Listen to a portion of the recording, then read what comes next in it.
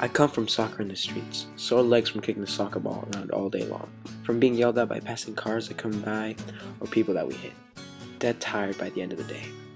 I come from two meals at once, eating food always accompanied by soup. We always eat soup. From the carne asada con arroz con el caldo de bola. I come from praying before we eat, everyone cleaning up when we're done, from every meal being cooked at home, never eating food from outside. I come from two opposite cultures mixing together. Born in la costa, but growing up in la sierra. From el ceviche made in la costa, la fritada made in la sierra. From the beaches of playas y salinas to el chimborazo y el cementerio de Tulcán.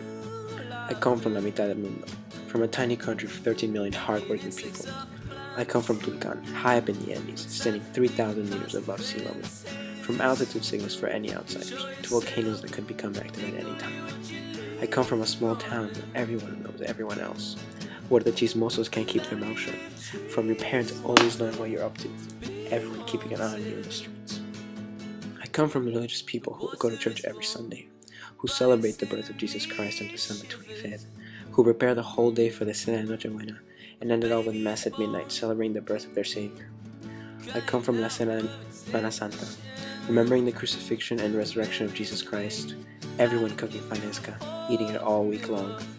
I come from the colada morada y las guaguas for el Dia de los Muertos, kids and adults waiting for the day to come so they can eat as much of it as they can. I come from leaving one home and finding a new one, from Ecuador to America, from learning a new language, a new culture, a new way of life, from struggling to adapt, trying not to forget who we are, but at the same time learning American customs. I come from the city that never sleeps, from big buildings, big bridges, and big people. I come from taking the train to school every day. I come from still eating Ecuadorian food but at American times, from my mom still cooking all our meals but not having enough time to cook soup. I come from new ideas formed, religion growing distant from our lives, no longer going to church every Sunday.